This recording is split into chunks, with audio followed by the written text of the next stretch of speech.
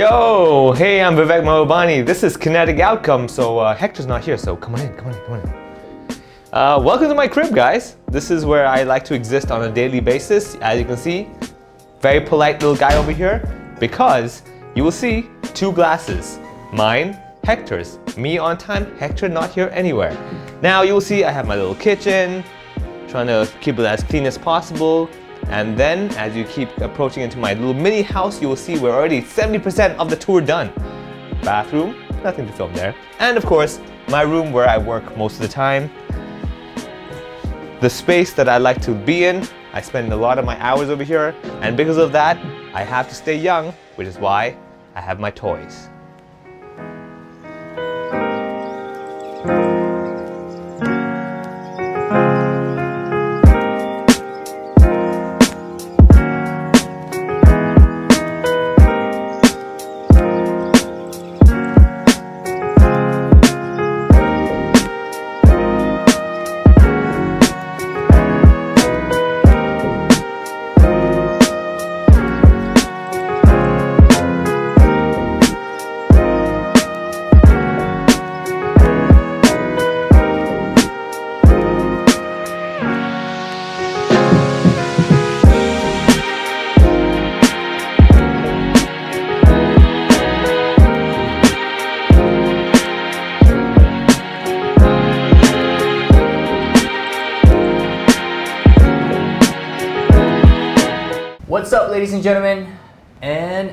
Vivek introduced it earlier, we are with Kinetic Outcome. So, Vivek, a little bit of introduction of yourself. Um, let's just say where you were born, how you started, how you got to where you are. So first of all, this year I'm 36. I've been in Hong Kong, born and raised for 36 years. Uh, grew up in a in, fully Indian household. However, my parents did not speak Cantonese, so they decided, wait, you live in Hong Kong, you must speak the local language. And they decided Cantonese is too difficult to learn, so they decided, son, you go learn it instead. So they sent me to a Chinese school to learn Cantonese. I grew up in a Chinese school in primary school, secondary school, stayed in Hong Kong for university, graduated. I was actually a web designer. Uh, I love websites and everything. However, I also love stand-up comedy, and so in 2007, I tried a stand-up comedy competition. I loved the idea of being on stage, just talking and making people laugh. And ever since then, I've been doing it and doing it, and it's transitioned into my full-time career. So today, my job is to tell jokes and tell people pay for them. That's what I do. Okay. well, that's still pretty cool. I thought you were younger. Oh, really? No, man, I'm an old man. Be respectful. 36. When I cross the road, hold my hand. Okay. Yeah. Well, next question is Yeah. uh, you spoke about it earlier, being part of uh, web design, then uh, comedy. So, how did you slowly transition from web design to fully being in the business? Okay, so web design started when I was in university. So what happened was I loved websites and I was like programming and everything like that. And one of my teachers noticed and said, "Hey Viv, you want to do a freelance job?" And I was like, "Is there money?" He's like, "Yeah." I was like, "Duh, duh, of course." So it was a five hundred dollar job, no big deal. He told me it's like do a photo gallery for this graduation ceremony, and he said, "Okay, just make sure it's ready by this this this date." Okay. So I was like, okay, fine. I started working on it. And the whole idea of a freelance thing where I'm like, so I don't have to go to your office. I just get it done before the deadline. That's it. That's all I have to worry about. And I love the idea. I gave it to him. He gave me the money. I'm like, this is great. This is what I want. So after I graduated, I started my own kind of web design company, my one-man company, and I started from there. At the same time, in 2007, I saw a comedy competition ad and I joined it. So in the beginning, comedy was like a hobby. IT web design was like the job. Okay, so over the years, I loved comedy. I kept doing it as a, as a side project, a side passion, and everything. And every now and then, you might get someone, "Hey, uh, you're pretty funny. Why don't you come perform in our event? Hey, you're pretty funny. You want to come to our company and do the, do a gig? You know that kind of deal. You might get a gig here, get a gig there. You slowly build your brand. And over the years, my web design, because I've been busy with comedy, I get fewer web design jobs, or I can't take on so many jobs, and it's kind of transitioned to the point now. I've my website company's kind of stopped. I only have a few old clients that I help out every now and then, but other than that, I it's only comedy or comedy related. Like I'm a web, I'm a sorry, I'm a MC, I'm a comedian, I'm a ring announcer. So yeah, just basically give me a mic, let me talk into it, and that's how I live. That's cool. It's all with the voice, Yeah, just the voice. exactly. Slit my throat, and I'm un- unemployed. Okay. well, uh, next question is um, the challenging parts of the process, and of course the rewards as well. Like what was really rewarding? Just those moments that you can't forget. That's like can envision it every time. Honestly, like with comedy, the most challenging part is like, will these people laugh? Can I make them laugh? And the most rewarding is, oh my god, they're actually laughing, right? So you do a gig where you might have people who are like, you know, oh, so, so, so posh, posh, like, mm, who is this boy? You know, who is this? You know, and those people, they're, they're used to like sitting back and appreciating stuff. You know, you perform and they they clap and stuff like that. But with comedy, it's such a live thing where like when I tell you a joke, you gotta laugh now it's not like, oh, please let him continue, you know. So when you have a crowd like that, you got to adjust yourself, and you can, if you can make them go from, oh, oh, very funny to, oh, this guy's good, I like him, you know. I love that transition, and that feeling is really rewarding. At the same time, my comedy, I get to do it in schools. I get to perform at private events. I've gone to hospitals to perform, and just the joy of seeing families with, let's say, their sick relative having a good laugh together you know, that in itself to me is like, wow, turns out a joke is so much more powerful than just like, ha ha ha, bye. And it's like, wow, everyone wants to have a good laugh. And those are the things that are most rewarding to me. The, honestly, the biggest challenge really is finding your own style of comedy. Like, why would people come watch you? I can watch a bunch of comedy online. But what, what's different about you? What can you do that I want to watch you live? You know, why watch you instead of the next guy? That's the biggest challenge, the branding aspect of it. Okay. And then the life side of it. Yeah like trying to make both sides work. Yeah, yeah, yeah. Right. So this is the thing, right? We live in Hong Kong. It's very practical. You know, mm-hmm. I mean, you may have a job, but if it can't pay the bills, it can't pay the bills. You can't lie about that. Now, comedy is very interesting because it's also a creative art. So I don't just do comedy gigs. I actually do a lot of things related to comedy. For example, I worked uh, with the Jockey Club eh, for their Happy Wednesdays, and I had a booth called "You Be a Rapper." And I made a rap that was like in English and Cantonese about horse racing, but it was a tongue twister. So I made that whole thing up. We made the booth, and then eventually I was there as the host of the booth every day and playing with people there between races. So it's not really stand-up comedy, but it had an aspect of making people laugh. So my whole goal is that I do things that make people laugh in general. So whether it's an MC or a comedian or a host or, or, or at a booth or whatever, it's irrelevant. It's just basically making you laugh. At the same time, uh, I also do other things like I go to schools, give talks, I give workshops. I also do ring announcement work, so like it's a whole different game. Like so, comedy, ha ha ha, ring announcer, oh my god, you know that kind of a deal. So all that stuff adds together. So this is how I make my living through a lot of different sources of different types of work, but all related to one thing where I'm the performer, I'm in control, and I basically give you an experience either by learning a new skill or laughing together or going, yeah, kick him, kill him, whatever it is, you know, that's how I do it. So honestly, it you can make it work if you find your niche in the market, and also you have to find what you really enjoy. I really enjoy the fact that I'm in I'm on the stage and I got a bunch of people who I'm like basically kind of controlling and leading into a certain experience. So it's just like ring announcers, you're on the stage getting everyone hyped up. I love that feeling of like, all right, guys, make some noise. You're like, yeah, the power. So that kind of a deal. So I would say, yeah, it, I, I made it work. This is my full-time job. I'm living very comfortably in the sense that I can, uh, if I feel like I need a coffee, I'm not going to think like, oh my God, I can't afford I'm like, okay, I can afford it. Not every day, but I can afford it. That kind of life. So it's good. All right, sounds great. Do you do uh, comedy lessons as well?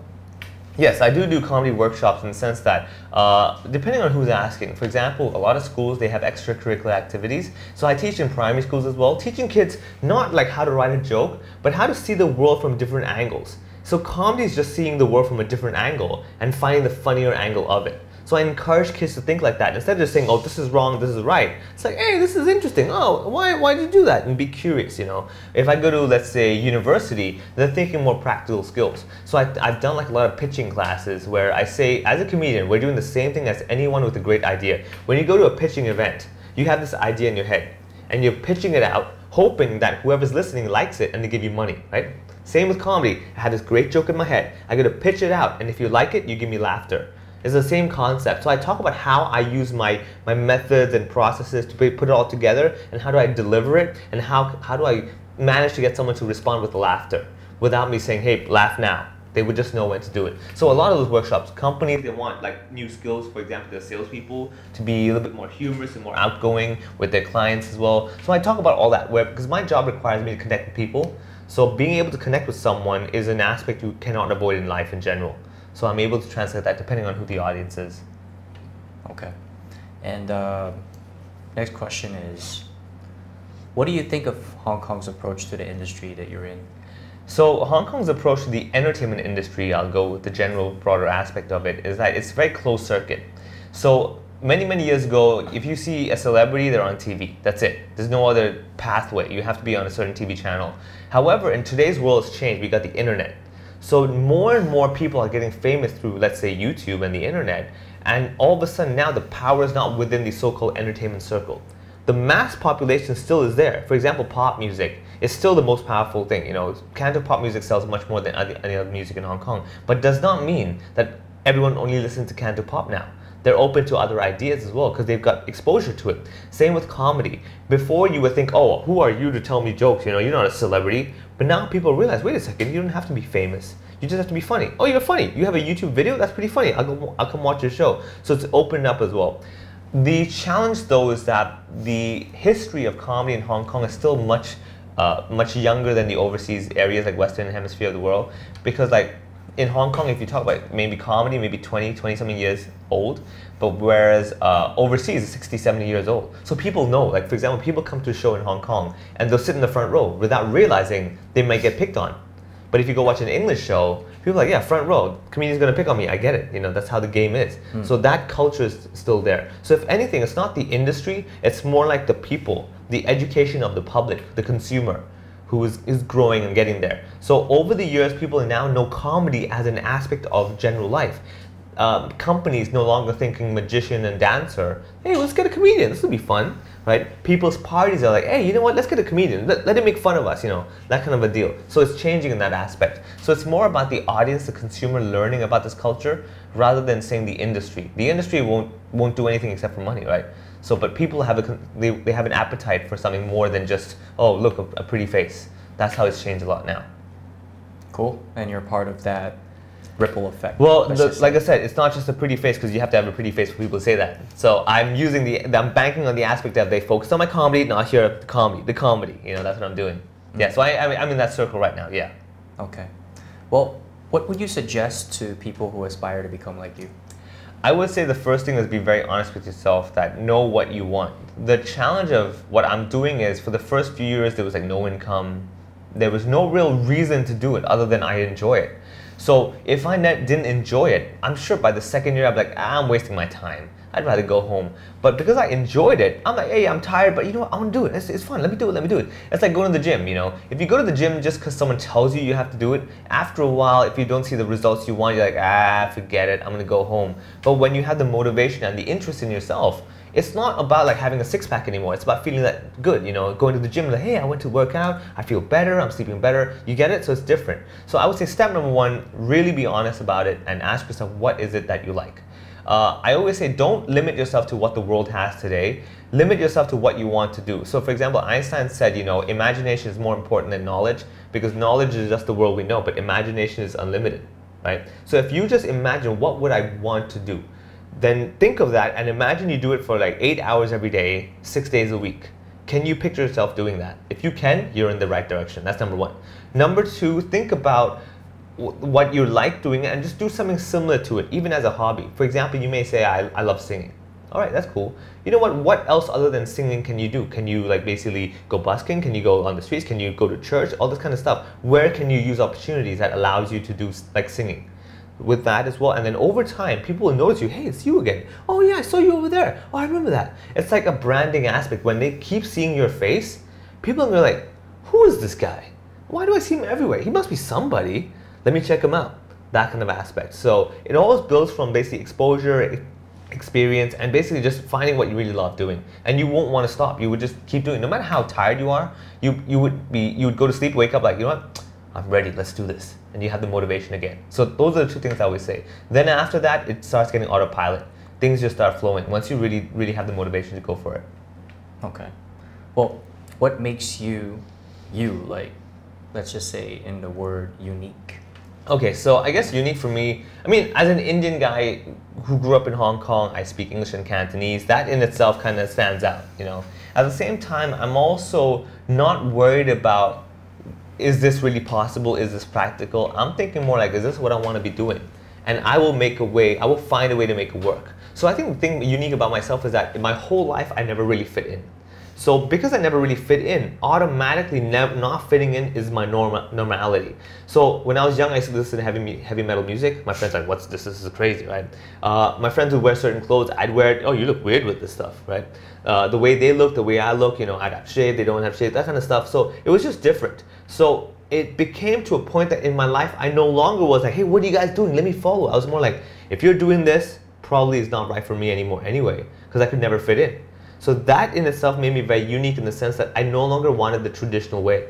I wanted something just completely absurdly different. And that is what I do with my comedy as well. I don't want to just tell you jokes. I want to tell you about the absurdities of my life, about your life, about life in general. Have a good laugh, and you know, let's just go. Who cares? Let's have a good time. Which is why you'll see I'll do stand-up comedy, and then I'm a ring announcer, and it's just like so. How did this all come together? It was just the aspect of like, how absurd can I make my life? How crazy, how outside the box can I be? So why not do all these things that are completely not your traditional mindset? So that's what makes me unique. Like I love the, the challenge of can I do something so weird? And I love I love the fact that I can't fit in. So I, I without trying I stand out. Okay. Who do you look who do you look up to most? Um, if you say comedy wise, Yeah. I mean, I grew up watching Jerry Seinfeld and Chris Rock and the classics. Nowadays, I love Bill Burr. He's my idol. I love his style and the, the, the raw edginess of his stuff. Uh, but I, I look up to, honestly, just people with their own style. So people I admire is like, let's say Bruce Lee, like, you know, like Be Water, my friend, the sign right here. That's one of his quotes. And I admire him not for the fighting. I admire him for the fact that he was like, I don't care what you think. I'm doing what I want. Oh, you don't agree with me? That's fine. I don't care. Oh, you tell me I'm wrong. I don't. I don't need your your approval. You know. And I love that idea where it's like he's not harming you. He's just saying I'm doing my thing. What's it to you? So I love people who are like that, and they found their own style through that method. And yeah, anybody who does that, I admire in general. So a lot of guys.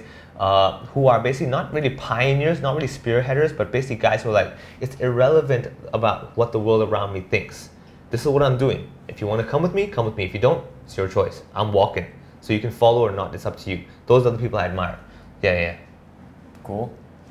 And uh, next question is um, emotional barriers maybe along Yeah, the way, or yeah. just people that didn't support you, like what you said earlier. I'm Yeah, gonna yeah. walk this walk, either you're here or not. Yeah, yeah, yeah. I mean, with anything in life, you can't avoid emotions. You know, like there are days when you're like, oh, I don't want to do this. Oh, right. So I I spent a lot of time self-reflecting in the sense that I still do. I write a journal every day, and what I do is I don't just write a journal. I actually read what I wrote one year ago to see where I was and compare it. How's my life now? How do I think of the thing that happened to me a year ago? It's very likely whatever bad day I was having a year ago, not only have I forgotten about that, but even if I do remember it, I'm like, oh yeah, well it's gone. You know, I'm over it. So it's a constant reminder that no matter how bad my day is today, within one year's time, I not only will be over it, I'll I'll probably have completely forgotten how I felt. So it doesn't matter how bad my day was today. So if someone tells me something that really upsets me, it will bother me, but I'll know the longest time it will take is one year. And in a year's time, I'll be just fine. So if I can wait it out, I guarantee I'll be okay a year later. So these are small, small things I do. Like every morning, I tell myself, you know, be grateful for what two things that happened yesterday. It's just a reminder that no matter how bad my day today is, by tomorrow I'll have two things that I'm grateful that happened today. You know, but at the same time you still meet people that you know will say stuff to you and you you think that they know what they're talking about. But over the years the more i do stuff the more i realize nobody knows what they're talking about right? Everyone's kind of just guessing their way. It's just that someone feels more confident in their decision making or their ideas. So it's like saying when i was young let's say 10 12 years ago when i first started my business i was like oh i'm learning about investing and stuff like that. And i was like oh let me talk to my uncles. You know they they've been investing for like 20 30 years. They must know and they're like, oh yeah, you know what? When it goes down, you buy. When it goes up, you sell. I'm like, oh okay, I, okay, I guess that's how it is. And then they were like talking about short-term investing and everything. But over the years, I kept being like, why am I losing money? This doesn't make sense. But they told me like, how can they be doing the same thing? Turns out it didn't make a difference. They were just guessing as much as I was, even after 30 years. So what I learned was, people may be doing the same thing over and over again, but does not mean just because they've been doing it for 30 years they're better than you. Just like saying, uh, if you cook for 30 years but you cook badly, you're still a bad cook. It doesn't matter how long you've been doing it, you know. So in the same way, like anyone who's doing their own business, if they hate their job, it doesn't matter how much money they make. It doesn't matter how high the position is. You could be the CEO of a company, but every day you hate your life, then no, you don't you don't tell me how to live my life, you know. So that kind of a deal. So a lot of people will always tell you things that make you doubt yourself, but it's normal because you're doing something so absurd that even they be like, I, I cannot see how this will work. This this scares me. So I cannot accept this. So that's actually in its own way a good sign. When to, when everyone's saying like this is not right, this is not right, then then you self-reflect and be like, is this right? And if you can be very honest look at yourself in the mirror and say, this is right, this is what I want to do, then there's, there's no worrying about what people say. So the challenge really is like controlling your own emo- emotions and being honest about how you feel without worrying of approval. Everything you do, no matter how good it is, someone's gonna not like it. I've had jokes that I've told a thousand times, but there are still people who've come up to me and say, "Hey, you shouldn't say that joke. That's I don't like that joke. That's an offensive joke." I'm like, how did that offend you? This is crazy, you know. Like I can make a joke about being Indian. They're like, "Oh, come on, don't don't joke about Indian people." You know, people make fun of us already. Why are you making fun of us again? You know, I'm like what? It's just a joke. Relax. You know. If anything, I'm making fun of myself. You happen to be Indian. I'm not talking about you. So these kinds of things, you know, over time you just kind of look past it and say, "Look, man, life is life." So it's more about being honest about how you feel. That's what I always say, without worrying too much about what people want you to feel. Yeah, that helps a lot. Okay, that was a solid basis of many points. So good to take in. Yeah. Um, well, I just added another extra question before the last one. Sure. Um, going back to what you do, your experience in performing Yeah. in different areas outside of Hong Kong as well. Yeah, yeah, yeah. Yeah, like which countries have you touched already? Just because of passion. So honestly, comedy itself has taken me around the world to the point it's it's really bizarre. For example, my first ever cruise ship I've been on was because of comedy, and I was like, I've never been on a cruise. This I, I don't know what it's like, and I was like, I can't believe I'm here. This is crazy. Uh, I got to travel to a lot of Asia Pacific. I, my first time in Australia was because of comedy. My first time in Japan was because of comedy. Uh, my first time in Kuala Lumpur was because of comedy. First time in Singapore was because of comedy. Uh, a lot of these places. So I've been mostly in Asia Pacific. You know, uh, the funny thing is that comedy's brought, taken me to these places, but it's also opened up the door like fight events. I've traveled to different places to do fight events. I'm like, I can't believe I'm over here. You know, this is crazy. MC though. MCA, Yeah, I'm I not fighting. thinking, like, this, keep fun of the fighters. this, yeah, I would be the, I would be like the one to one million bet guy. Like, if this guy wins, you deserve a house, man. Yeah, so no, uh, but yeah, just these kind of things take me around the world, and I, and I really appreciate it because every time I go there, I'm like, wow, I can't believe I'm over here. This is crazy. This is my job. It's not a vacation now, you know. Of course, there's two sides to it. I always say I travel the world. It's great, but it becomes a business. It becomes a job. You know, you find yourself on a plane going like, how many more hours? 10 oh god. You know you do that. And i was just in vancouver this year my first time ever in vancouver as well because of comedy. And i remember i'm on the plane for like 12 13 hours sitting going like this is a part of comedy people don't tell you about. The terrible sitting on a plane go like oh my god i'm so tired but i can't sleep you know that kind of a deal. So there's a lot of that. I would say i've traveled around asia pacific. I've been to canada. I've been to the us because of comedy. And and it's it's great. I love it and the problem now is for a vacation. If you tell me, hey, where do you want to go for vacation? I'm like, I don't want to go anywhere. Don't you dare take me to an airport. I will kill you right now. I want to sit at home, don't move. No luggage, no packing, nothing. Yeah, it's reverse for me. All right. Well, last question is uh, anything to expect this year or the coming year? Plans or So comedy shows on that? One, one, of, one of my crazy ideas I've always had is like, you know, the Hong Kong, they have the speech festival. Basically, it's like they have poetry and all this kind of stuff. And I've always had this idea. I'm like, what? Wouldn't it be so cool if there was like a stand-up comedy category in the speech festival where it's mandatory that every school send representatives to join the speech festival, and one category is stand-up comedy. And I was like, I, I'm gonna make that happen, man. One day, one day it's gonna happen. I want to go to schools and see kids telling comedy jokes. I'm like, yes, this is it, you know, because one of my beliefs in Hong in life, and especially Hong Kong, is that we're so effective, we're so productive, but we forgot what we're doing it for. So when was the last time you sat down and told someone a story? Very rare. You tell a kid maybe, but not your friends, you know.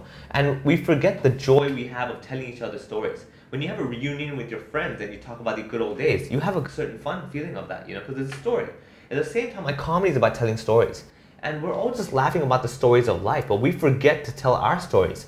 So one thing I always say is like a really good example, like you know the the, the uh, phrase "stop and smell the roses." Like in Hong Kong, we're really good at planting roses. In the beginning, one rose, two roses. I want to make a garden, a beautiful garden. Okay, great vision, right? Plant, plant, plant, plant, plant. 10 roses. Okay, you know what? I want 20 roses. 20 roses. Oh, you know what? I want 30 roses. We're so busy planting the 50th or the 60th rose that the first rose you planted, not only did you forget to smell it, it's now dying.